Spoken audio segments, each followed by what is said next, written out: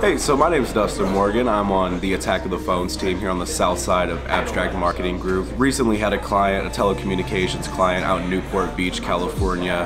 Um, national company ended up flying out to Florida for a new prospect that we did uh, end up coming across. Had 165 phones that he needed transported from one location to the next throughout a move.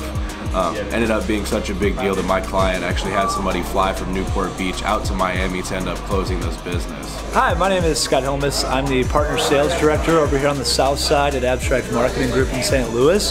Sounds like we've just set a great telecom appointment for one of our partners in California.